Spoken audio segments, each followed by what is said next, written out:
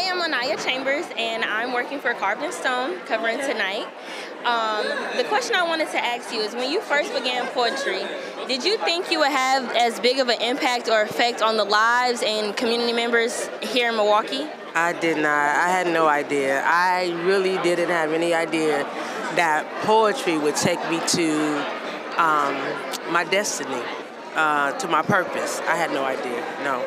So, how does it feel to be honored tonight? It feels good. It feels really good.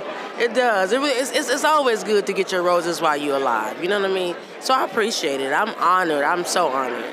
So yes, it feels good. Well, thank you. Congratulations again. Thank you. You look so good. Thank you. Good too, girl. In the end, everything will be carved in stone.